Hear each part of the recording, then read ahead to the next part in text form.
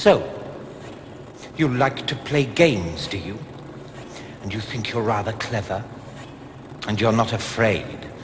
Well, not very afraid. Very well, Dungeon Master. Bring on your brightest and your boldest. But remember, I play only the end game. And I always win in the end.